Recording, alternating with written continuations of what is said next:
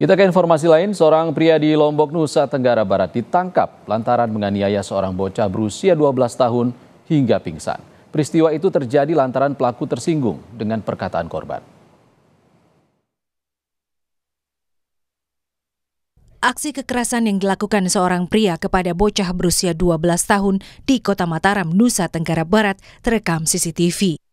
Dari rekaman CCTV terlihat pelaku mengejar korban lalu melakukan penganiayaan yang menyebabkan korban pingsan.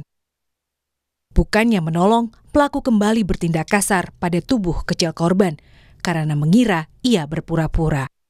Aksi penganiayaan ini diduga terjadi lantaran pelaku tersinggung dengan perkataan korban. Setelah sadar, korban dibawa warga pulang. Keluarga kemudian membawa korban ke IGD Rumah Sakit Bayangkara Polda NTB untuk visum dan melapor demi mendapatkan keadilan karena tindak kekerasan itu.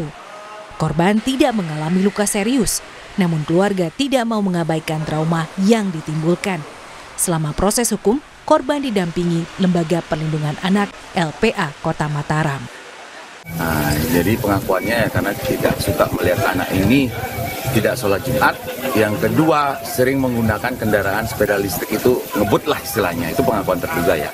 Meskipun kemudian dia menganggap bahwa ini untuk kan ini bukan menasihati. Kalau ini sudah kekerasan ya, uh, ini jelas sudah kekerasan dan uh, dugaan saya jangan-jangan ini bukan kasus yang pertama kalau ini bukan anaknya dia tidak ada hubungan keluarga hanya ketersinggungan Pelaku saat ini masih menjalani pemeriksaan di Unit Perlindungan Perempuan dan Anak PPA Kota Mataram.